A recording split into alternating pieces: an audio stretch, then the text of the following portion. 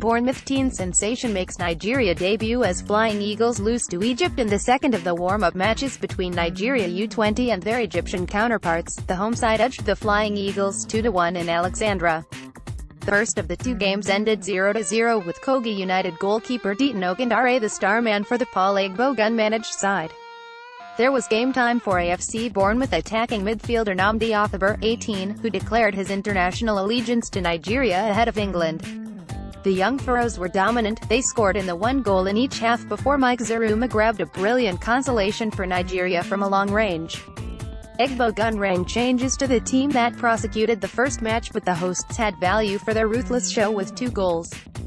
How the Flying Eagles lined up, Ogundare, Valentine, Mubarak, Ikawam, Mike, Ofoborh, Ibrahim, Newer, Babawo, Alalade, Yahaya Bayomi Adematon Photo Credit, Themp.com